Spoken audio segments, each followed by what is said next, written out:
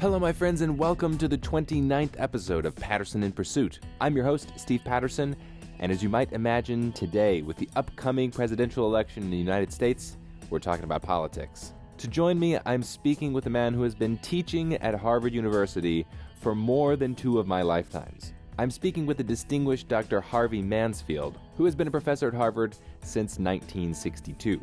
But before we start, I want to give a special round of shout outs to some new Patreon supporters Mike Fershing, Brent Bowers, Brian Miller, Michael Jesus Segura, and Steve Wilson. Thank you all so much for contributing to the show and helping create a rational worldview. And thank you to the more than 50 other patrons who are also helping to support the show. In addition, I've just added a PayPal option on my website if you want to support the show that way. And I've already got some people donating through PayPal, so thank you all so much. So, what's interesting about Dr. Mansfield is he's a conservative at Harvard and has been that way for quite a long time. As you can imagine, he's seen a lot of things. So, being a conservative, I wanted to ask him about this crazy 2016 election, what his thoughts are on Trump. And he's also known for having some slightly provocative ideas about welfare, about political correctness, and even about my favorite topic, academia.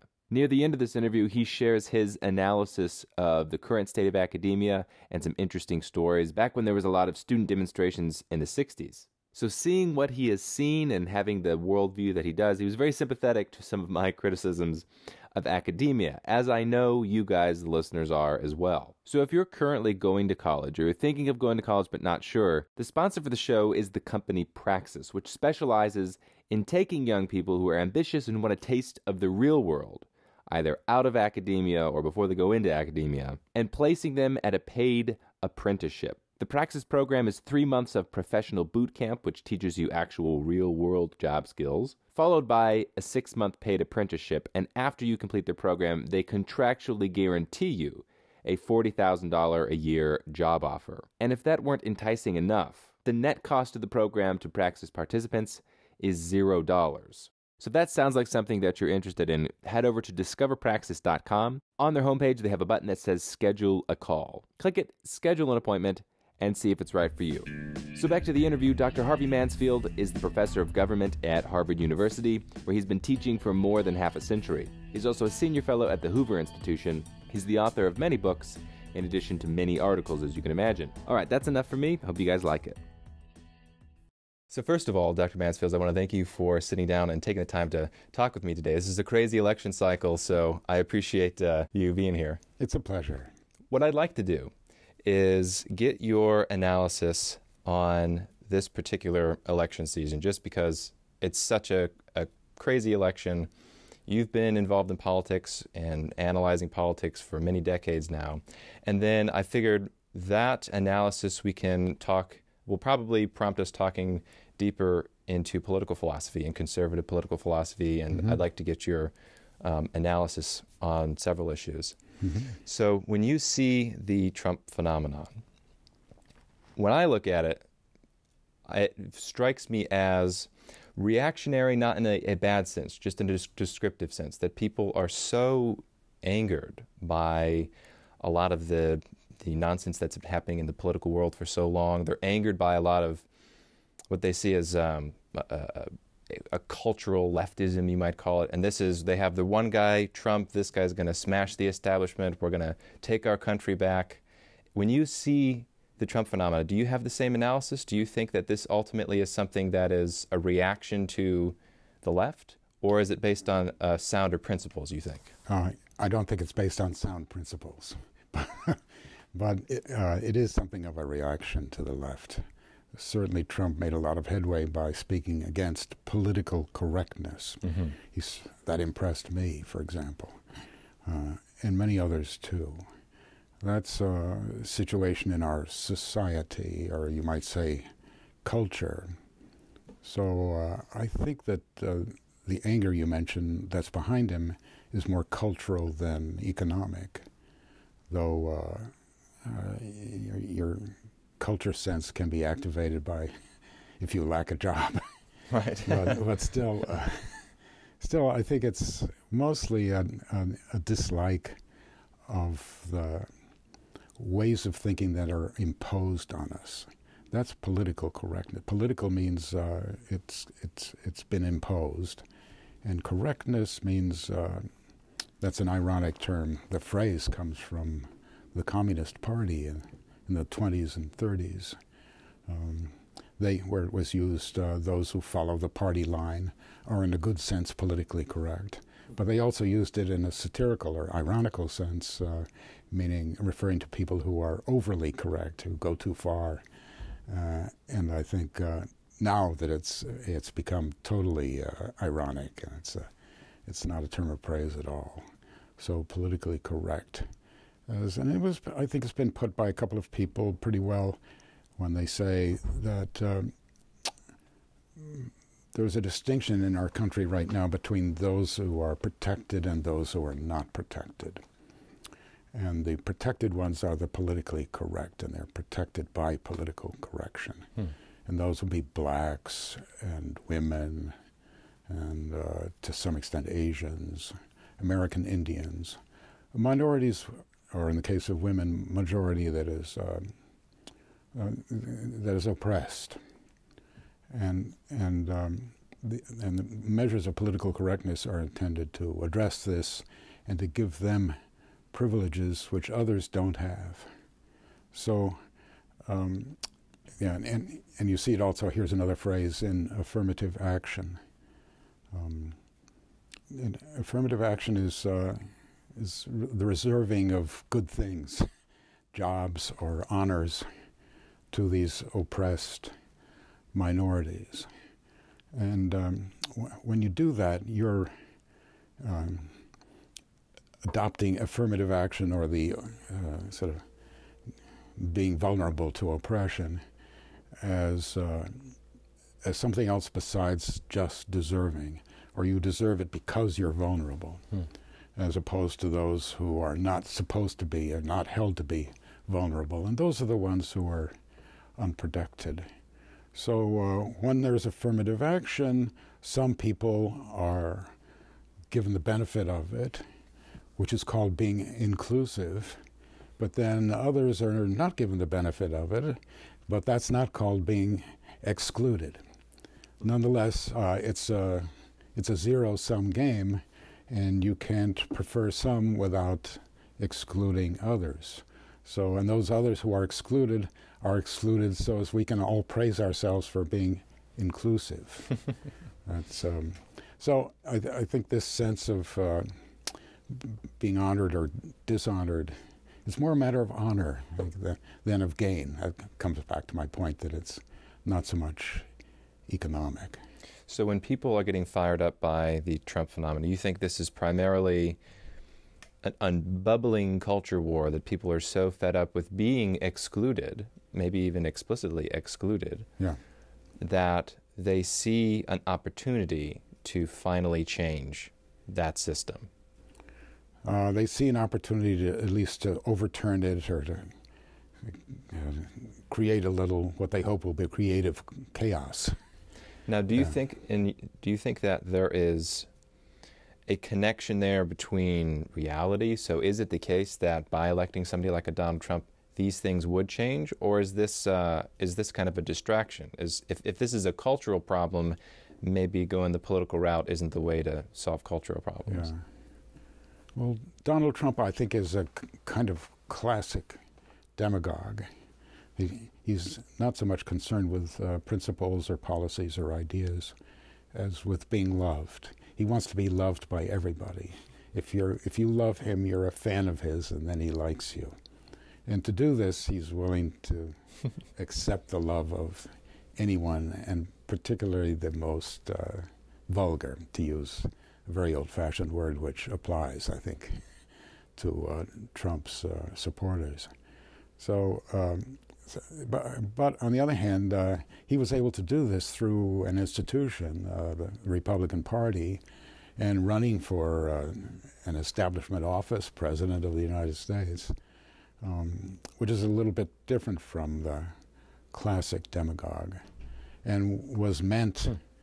by the founders of the people who made our Constitution to get in the way of, make things difficult for people like Donald Trump. And so maybe if he loses, uh, we, will see the sort of the, the the victory of the Constitution, uh, or what's called the establishment, uh, um, at the end. But uh, he's certainly given everything a um, a, a, turn, every one a turn, and uh, and uh, cast a shadow. Makes makes the whole scene look quite ominous. Right yes. Now. So let's play out that scenario. Let's say that Donald Trump loses. this anger is not going to go away. So what do you do? You think that Donald Trump might be the devil that we know, and we'll see what comes around next election cycle, or do you think that this anger is going to? It's got something's got to happen, right? If it's not his election. Well, uh, yeah, it could be a classic case of the purging, a purgation of of anger. um, if, if you get smacked hard, if he loses substantially, say, gets fewer votes than Mitt Romney, the person he laughed at for being a loser, then uh, I think that's that's a, a, kick in the stomach, or for him. That, but I don't know all him, those supporters. Well, but right, I, uh, uh, you know, they they will face the, uh, the they'll they'll face the, the declaration that they uh, brought this on themselves, and that they led us, we Republicans, uh, into defeat. And uh, what can they answer to that? Uh, it's also the whole situation is an instance of democratic and especially American impatience. Um, our Constitution is designed to make us more patient than we are in our nature slow things down. Mm, slow things down by giving lots of people opportunity to uh, interrupt, to make their point, with the ultimate goal that the final result, the, the majority that passes the law, will be more moderate than it would have been otherwise. So, uh, uh, so, so it's that, that's part of it too, just impatience and anger. And the thing about such impatience is that it passes or can easily pass. So um, maybe having brought us uh, to a debacle of having to vote for uh, uh, Donald Trump or for Hillary Clinton, we have to look at the other side too. Exactly, exactly. Let's yeah. let's do that. So when you when you personally look at those choices, well, there are other choices: Libertarian Gary Johnson and Green Party Jill Stein. Those are also choices. Yes. Um, for somebody that has been in the conservative movement for a long time, mm-hmm. what do you do? Do you hold your right. nose and vote for Donald, or do you say, "I can't," in yeah. good conscience? Well, what I'm going to do, I think, yeah, I've taken a long time to decide, and uh, well, I, have certainly considered voting for Donald. I, I don't. I certainly don't want to vote for Hillary Clinton, but I think I'm going to vote uh, for Mike Pence right in, something like that. Uh, that's a protest vote. Um, and by the way, part of this uh, situation too is uh, is Bernie Sanders. We have to look. The whole situation includes the Democrats, and and they have had they had a very near thing of it almost to get a man who uh, calls himself a, a, socialist yeah. and not even a, a, Democrat. And he almost hijacked the Democratic Party the way, the way Trump did the, the Republican. So let me ask you on that note that uh, a few months ago, I. Um, when Bernie was still in it, and it was looked like Trump was going to get the Republican nomination, and it was uncertain with Bernie from my perspective, because I'm very much jaded by politics and now consider myself a libertarian, mm-hmm. it seems like co- almost a condemnation or a demonstration of the fundamental issues in the political system that we have that these two people mm-hmm. could potentially an explicit socialist which is mm-hmm. remarkable and disturbing and mm-hmm. Donald Trump which is also remarkable and disturbing mm-hmm. so doesn't that kind of condemn the whole system that such a thing mm-hmm. could happen. I think it, what it condemns is more the situation than the system. The um, the situation is the So I would say I would call it the twilight of the welfare state. That hmm. uh, that is uh, the giving benefits and taxing the people to provide the benefits and asking for their vote on the basis of the benefits.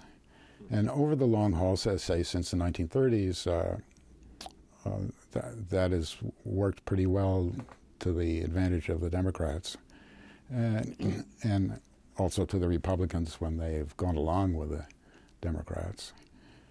But I think that's now coming to an end because I think it's now beginning to be evident that the people are willing to vote themselves benefits that they're not willing to vote payment for.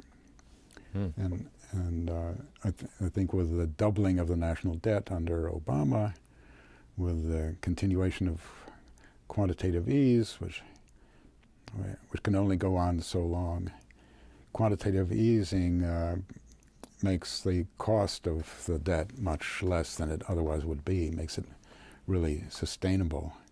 But the trouble is that quantitative easing doesn't seem to be sustainable. So uh, the Democrats are very good at finding expedients like this to make things continue. But uh, right, right now, say their present campaign is against Trump.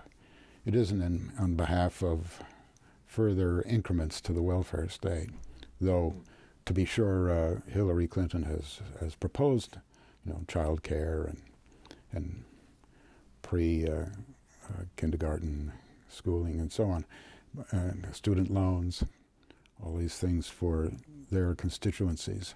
But uh, how are we going to pay for those?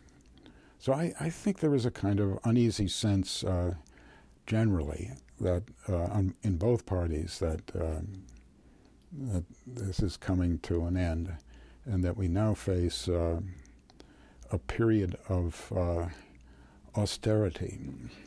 And this despite the fact that neither candidate speaks at all of austerity, to put it mildly. But I think that people are aware of this. And this, I think, th- this is, would be my explanation for uh, the Democrats' uh, affair with Bernie Sanders. They, uh, they begin to see that, uh, that welfare state or social democracy is not really viable certainly not in this country, and uh, it's also too costly. In Europe, they're having similar difficulties. Not to mention the example of Greece, where a people that um, voted excessive benefits to itself through government has come to grief, really. Um, that, that, that this is uh, coming to be over, and so they want to defend the whole system as a whole, and that and they don't mind calling it socialism, um, which was always perhaps what the Republicans wanted to call it, and and you know name it correctly rather than politically. So uh, so so I you know that that would be my sense, and then but but then the trouble is. Uh, uh, you, you can't. Neither party can afford to be the beginner of austerity. It seems, it seems some kind of mm. crisis will, some, some, some event will have to occur which forces us to, as a people, to face this um, difficulty. And um, I don't know what that will be. That could be in foreign policy, not necessarily in domestic policy, but trouble for the dollar or um, pensions, entitlements, um, or um, f- financial systems, the stock market. So when so you all these po- are possibilities, but I guess, so I, th- I think it's we're headed into a queasy situation. So when you see the promises that have resulted in a twenty trillion dollar national debt, you said that you were thinking that some of the Democratic um, uh, the allure that Bernie Sanders held for them was seeing that maybe this system is not sustainable, that there's something wrong. But when you said that, I was thinking, oh, this sounds rude, but that might give them too much credit.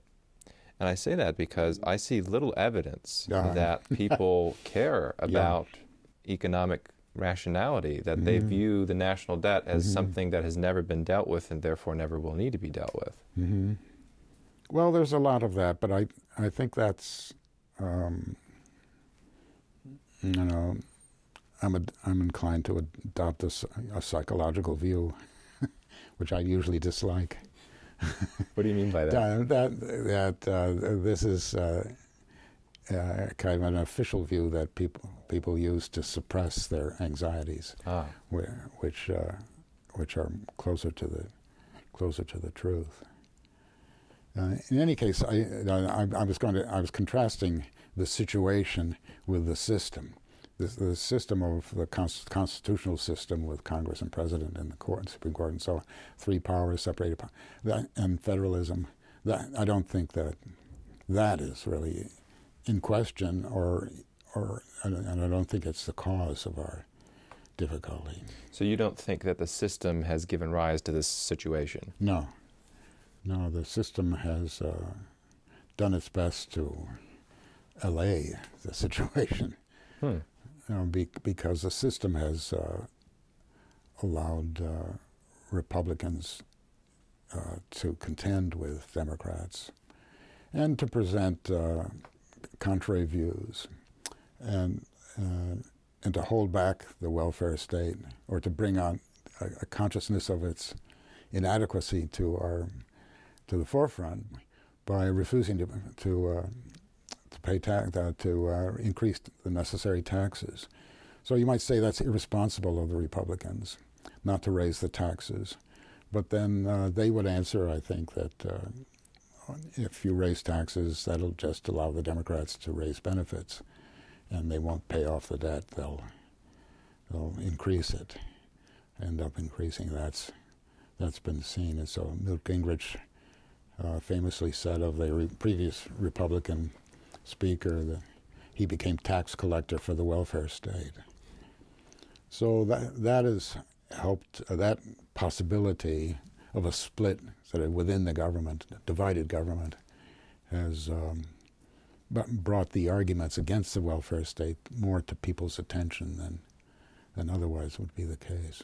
So, when you said a minute ago, this is really interesting, that you think the system has been doing its job essentially because it's been warding off Mm-hmm. an even worse situation, you might even Mhm. say. So, when you view government now from a more philosophic perspective, do you see democratic systems in general as essentially doomed?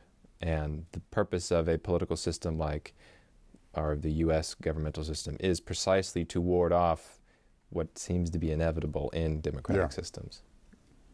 Well, I hope not. I, I think I think it's uh, part of our responsibility not to believe that, okay. not to believe Now, that is that the doomed. psychological explanation? No, no, no, no. I think that yeah, that's the moral explanation. Okay. yeah, that there's there are certain things you mustn't think right. because it will keep you, it will paralyze you, it will keep you from acting and turn you into uh, an incompetent uh, incompetent observer. So uh, yeah, we mustn't think that we're doomed. But it's true. Uh, th- I mean, this is a, a classic failing or end of democracy. The Roman Republic. Uh, same thing happened. Uh, the people became dependent on uh, booty from foreign conquests and stopped working on their own. Hmm. So that that's that hasn't yet happened, and and perhaps it won't, and we should take measures to prevent it. Still, uh, we're headed that way. Do you think that underlying malaise is ultimately cultural? And that it is, like you said, people not as hardworking, and therefore that you see one manifestation Yeah, in that in the government? That's one of the. I mean, I've I've been talking so far about the money, the, the debt hmm of the welfare state, but that that's the other. Uh, the other aspect is moral hazard. They, that that being on welfare, and, and it isn't just being poor and being on welfare, but being middle class and getting government benefits saps your sense of self uh, reliance and Hmm. makes you dependent on the government, and this is happening to more and more people who have dropped out from the workforce. They're they're not just unemployed; they're not even counted as unemployed, though they're not working. So they've uh, they've uh, gathered little disabilities for themselves, uh, other ways of not working and and and uh, enjoying life. So you know, and that that this sort of moral deteriora- deterioration under the welfare state is really is really um, perhaps worse than uh, than the economic. But um, I I wouldn't uh, I, um, I, wouldn't say that this is uh, um, cultural versus political. It's, it's the two together. Mm-hmm. I have this uh, far more ancient Aristotelian view of uh, of government that it's um, that it r- rules the country in order to make a certain way of life, and that ultimately, uh, you know, despite our, our liberal principles, um, we live the way we're governed to live. Hmm. If we have, if we live in a pluralist system, that's because we have a government that wants that.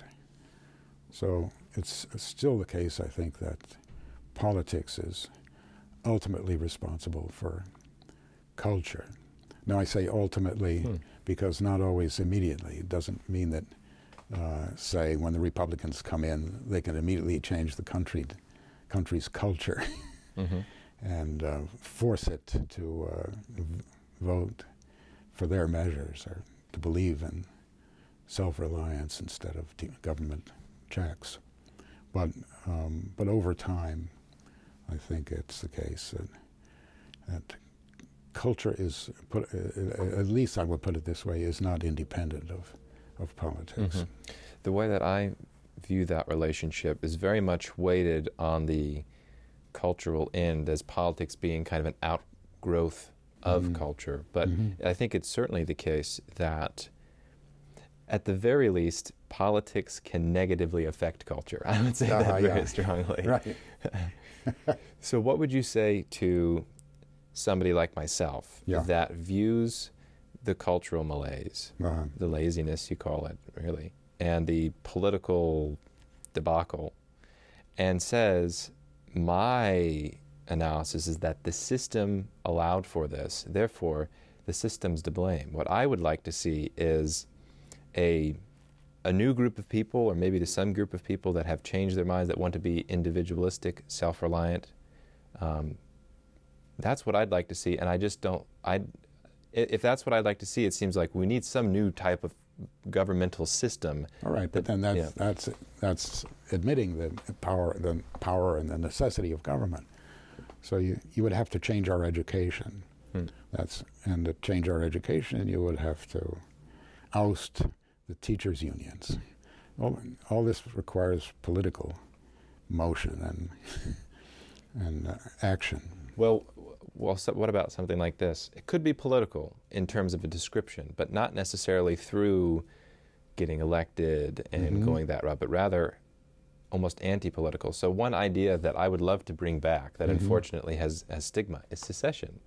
People uh-huh. secession. Oh my gosh, it's a terrible idea. Well, yeah if we get the, uh-huh. rid of uh-huh. the stigma that's attached to it, yeah. actually makes a great deal of sense that those who want to govern themselves in a particular way mm-hmm. can have their structure of government, and those mm-hmm. who who want a complete opposite mm-hmm. system of government can have their structure of government. Yeah. I feel like that idea could really take hold. Well, that's, but name. that's just an, an extension of the idea of federalism.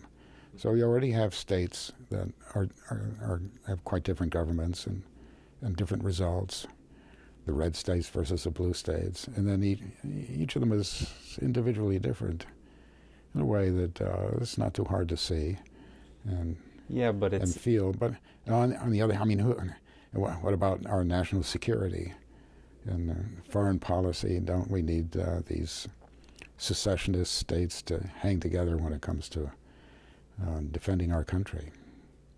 My own disposition is to think probably not, but if so, uh-huh. There's nothing that would prevent them from voluntarily colluding. It's not like we need the the mandatory oversight of the the Washington D.C. system um, to ward off the people. If the states, let's say, let's say we we had a minimal or non-existent federal government, the states could still associate with one another to try to defend against mm-hmm. foreign aggression. And my mm-hmm. my own libertarianism is much more radical than that. I I, I, prefer to see um, an evaporation. Evaporation of, of the military. Uh, not the services not, of the military, um, um, but the centralization of the military. Yeah. So I, so I, I like I like markets. Yeah. So I'd like markets to provide for those kind of things. All right. So we have a national guard in addition to a federal army. Those, the national guard is by state. So I mean, there's a little bit, uh, uh, a little bit of of uh, flexibility in your direction, I would say. But um, well, you know what you suggest didn't work very well during our Revolutionary War, where we did have a league of states, and uh, it was very hard to get them each individually to pay for the soldiers, mm-hmm. or to, or even to contribute the number that they needed. And so, at the end of it, uh, the Constitution came out with a fairly strong executive. Yeah, I think I don't. It would definitely have been interesting to see what would have happened um, had we still had the Articles of Confederation. I mean, that's just one of those counterfactuals. It'd be really hard yeah. to, to play out. But yeah. I, I, in my disposition is to think the less power that governments have is probably the better. The more power that individuals mm-hmm. have, the more they feel like they're mm-hmm. in control of their lives, they're responsible for their decisions, for better or worse. Yeah. I feel like that's probably a good yeah. thing. Well, that, that that's stated like that one can agree. That's uh, that that's what I call a free country. Okay. But well, it needs to be free in order to take some decisions uh, altogether too. I think.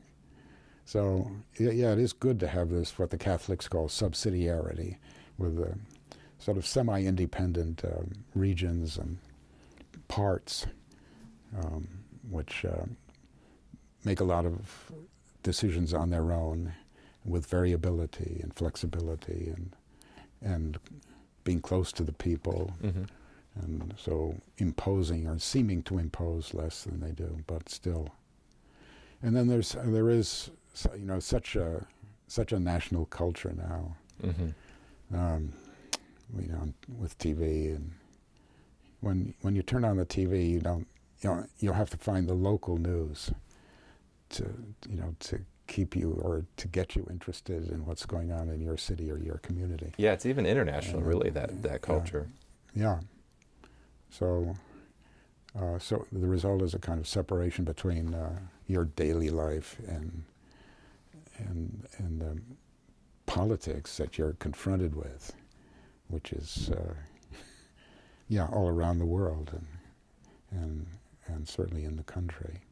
So I know a lot of your work has focused on welfare, on analyzing welfare and the impacts of welfare on uh, politics and on culture. I'd like to ask you a few questions just on that note. Because a lot of people will criticize the idea of limited government in any capacity because they say, well, we have to take care of those who can't take, take care of themselves. Mm-hmm. And my weak rea- reaction instinctively is to think, well, there's no reason why you have to have a safety net, let's say, provided by mm-hmm. a government. You can have all kinds of mm-hmm. voluntary community safety nets. Mm-hmm. How would you answer a question like that? You, yeah, I would agree with you yeah. on that. That um, I mean, you could have a mix, but still, um, Republicans tend to uh, to favor uh, um, private charity and um, mm, church groups and and uh, other other other such groups who um, which represent people coming together voluntarily to um, help those who really need the help. Uh, whereas the Democrats uh, don't like generosity as a virtue. They prefer justice. Justice has something compulsory about it, hmm. and they're perfectly willing to accept that in return for the universality of it. Generosity, they think, is too much hit or miss. So you might it might work and it might not. Whereas if you have a government program, that can't miss. Ha ha. Mm-hmm. But uh, at any rate, in principle, it covers everybody in every situation. So you see that very much with the health care mm-hmm. issue now that um, the, universal is better, and that, and, and therefore the, you kind of lower the motive, because uh, uh, justice, when it become t- becomes a law, uh, you can be just merely by obeying the law, and you're forced to. Whereas uh, with generosity, private generosity, you have to step up, and uh, and you give yourself a lift uh, while doing that. And the Democrats say, well, that's bad too. They don't like people puffing themselves up because they have virtues that most people or other people don't have. So uh, you need something, you need a solution which is universal and therefore equal. And uh, the only way you can get equal is to bring more, a little, a little bit, or more and more coercion into it. So, because liberty always produces inequalities. Mm-hmm. Some people are better at certain things than, than others. Mm-hmm. That's that's what it means to be an individual. Uh, it's to be unequal. If you're different from others, then you're good at better at some things and worse at others, or maybe better at most things. So liberty leads in the direction of inequality, elites. Um, you can say the elites. I mean, the the cure for elite is elites, the the plural. because the uh, that, I mean, that, this is very much the American way. I think that uh, yeah, we uh, we and as opposed to most other, and certainly most classical democracies, we give a lot of leeway to sorry to ambition, uh, which is a kind of passion in each person that makes him want to be outstanding or to excel or to make himself better. Um, then um, than the kind of equality which has to be enforced through uh, compulsion. Mm-hmm. So, so, uh, so you have to you have to have a democracy that's more tolerant of inequality than than that which insists on everyone's being equal. So, but everyone's being equal is a, seems to be the main idea of a democracy. So it's it's hard to hard to achieve as Tocqueville says, uh, a democratic people has a passion for uh, equality and a taste for liberty. so a passion is stronger than a taste. So that and that's the that's that's that's the problem. So when you gave that analysis um, of how the Democrats view welfare and compulsion. Do you think that that is something they would agree with? That, that way that that is phrased. Yes, I, that, I meant to. Think I think yes. they would. I think they would. They would say that justice is is better than generosity. So in that, and they do that. They practice that, by the way. There's a, a book written by Arthur Brooks uh, on the on the two parties and their ways of of generosity. And he, had, he summed it up in this comparison between the city of San Francisco, which is rich and liberal, and this state of South Dakota, which is po- much poorer and conservative. And they have about the same population, and South Dakota gives three times the charity that San Francisco gives per year. So, so it, it is that is, I think, a big difference in the parties. So when you I, I, that certainly that analysis is in accordance with the experiences and conversations and relationships that I have with people who I think are more disposed towards liberalism, um, modern liberalism. But if that's true, and that's a very popular uh, disposition to have, mm-hmm. then doesn't that again kind of um, condemn to some extent the long run viability of a democratic system because I think we also see demonstrated over and over that in the long run, the welfare system mm-hmm. um, is not sustainable. It does it doesn't work. It's a short run yeah. win and it's a long term disaster. Right. So is, not that doesn't that distress you? I think that's true. So that's why we're going to have to learn the virtues of austerity. Hmm. I, really, um, because that, I mean, yeah, choice is a wonderful thing, but one doesn't always have it. so, if and, and yeah, that's and that that's a, a difficulty with uh, libertarianism too. I think that it, there are necessities as well as choices. Sometimes you have a choice as to how to deal with a necessity, but still you have to, to do. And necessity is a kind of compulsion even if it's not from the government, it's mm-hmm. something you're forced, as they say, you're forced to do. So, one, I'd like to, to transition a bit to what we were talking about kind of at the beginning about political correctness and also your career. So, you have been in academia and higher ed for more than half a century mm-hmm. in at Harvard, mm-hmm. kind of the thick of it all. Do you see the modern trend towards political correctness and the chilling of free speech on campus? Mm-hmm. Do you does that distress you as much as somebody like myself, being a young person, knowing a lot of people on campuses, mm-hmm. the, some of the antics that are going on with political correctness are really distressing. And and part of the reason I'm doing this series and part of the reason I'm doing my work is because I'm thinking, I don't want to touch that stuff with a 10 foot pole. I don't want to be part of that system. I want to try to avoid it altogether. Mm-hmm. Is this something, is this based on my naivete, not being around long enough to see that this is what happens, or is this something genuinely unique? To our time. Well, I think it's been building up to this. So, uh, since the late 60s, the late 60s is when I, when it got started. The late 60s were very much characterized by antics, as you say by protest and rebellion and sort of uh, lack of conformity, anti-conformism. So all that was nice and good, but unfortunately, those people once they got into power or into tenured professorships um, have uh, produced a kind of soft despotism again, if I can mention Tocqueville again, um, uh, that that is uh, endemic in uh, in democracy and uh, and getting worse and worse in ours. So uh, right now, you don't see anything like the protest of the late '60s. And when I mentioned the, the, way it was, since I lived through it, to students today, they're open-mouthed at at the. Uh, it's more than hijinks, at the disrespect really for for uh, for mind, for think and for thought. You're saying back yeah, then? back then, yeah.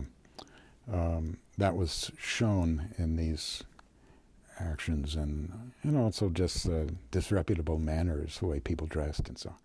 But n- now the ideas are there. There's tremendous disrespect for mind in our ideas, mm-hmm. but um, there there isn't the there isn't the rebelliousness that used to go with it. And, and the reason is, uh, is that it's worse because there's, there's nothing to rebel against. Right. You know, they, they were rebelling not against uh, conservatives in the late 60s, but against liberals, against Cold War liberals, against, um, uh, well, they, they, they were the ones who first picked up the word establishment, establishment liberals who were at that time in charge of the universities, and they accused those liberals of being complicit in the Vietnam War hmm. and the horrors and injustices of that conflict. So, uh, th- and they were, th- so, so that was what they accomplished, and now uh, it's a it's a new liberalism. Uh, then the new left has become what are today called liberals.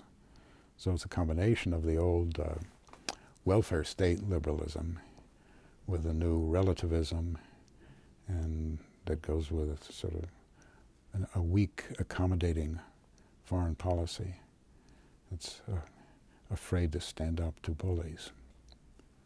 So when you, it's hard to believe for me, um, just based on my own limited experience. I was in school six years ago now, so it wasn't even that recent.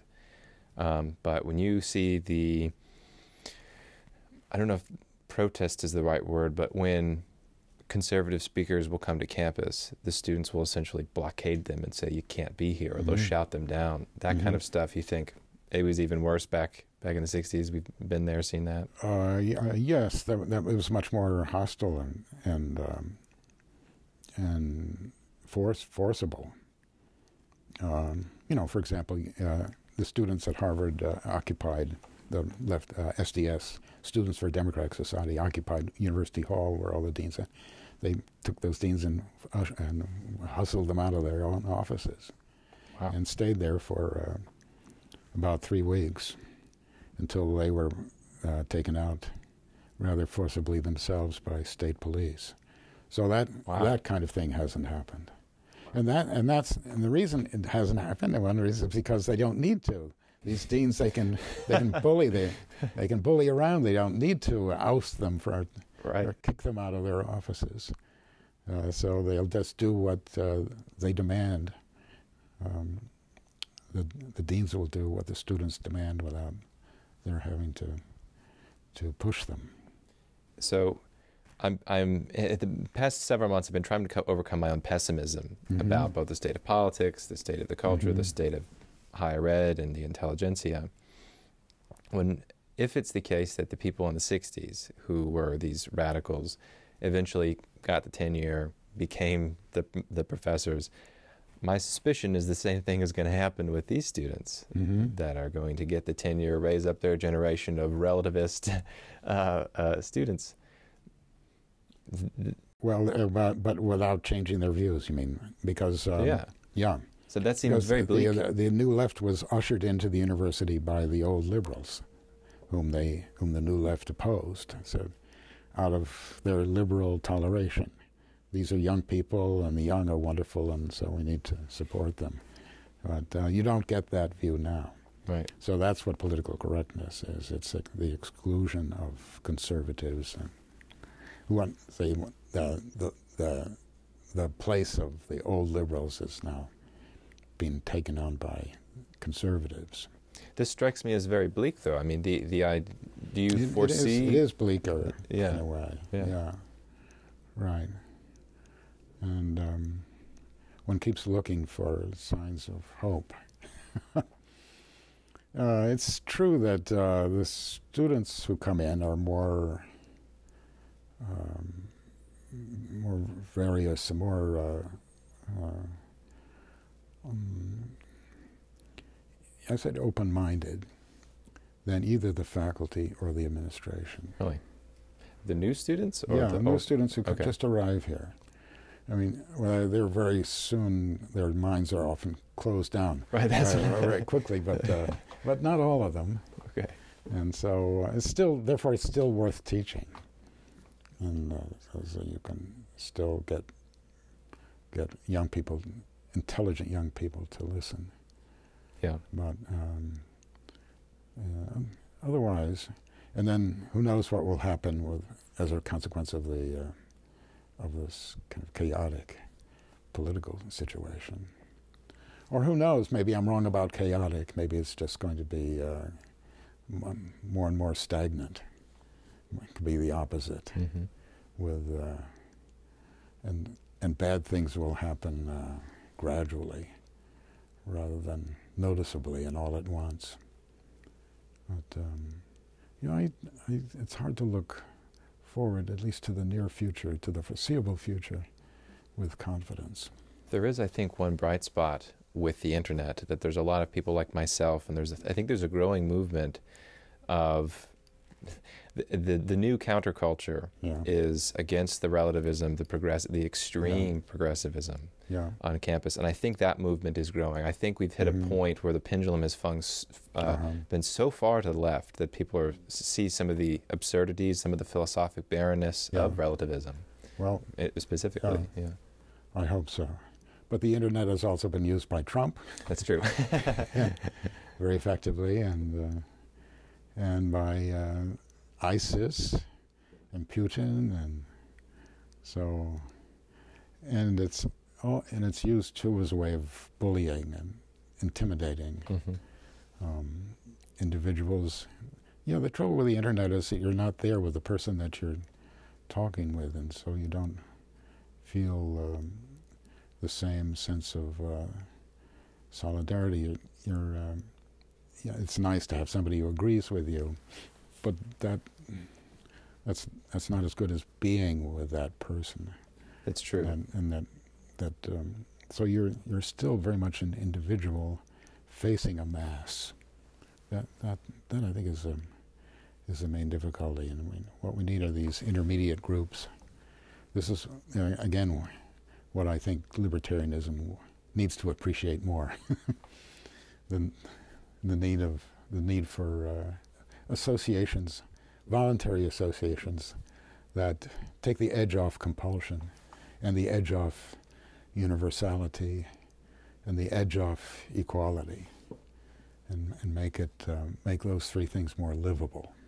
I think there's also uh, it's a smaller amount, but there's also a lot of people who are part of the the, the new internet culture that see um, the uh, they call it trolling that, that people are just being complete jerks to one another. But I think it develops a kind of you have to have a, a, certain measure of thick skin that I think is becoming yeah. more and more common, where people say, "Yeah, that's just the internet," and therefore it doesn't get to people. Uh-huh. As if, I mean, if people on the street were talking to you the way that people on the internet would be talking to you, it would uh-huh. be horrendous. But we uh-huh. just go, "Ah, it's the internet," uh-huh. you know. okay, I'll accept your uh, your assurance. okay. Well, on that note, um, yeah. thanks so much for talking to me. This has been great. My pleasure. Okay, that was my interview with Dr. Harvey Mansfield of Harvard University. I hope you guys enjoyed it. I certainly did. And I really can't wait to do a breakdown of this episode. There were lots of really interesting little nuggets of wisdom. Some things, as you can imagine, I disagreed with. But it's great to hear the insight of somebody who's been in the political scene for, like I said, more than twice as long as I've been in existence.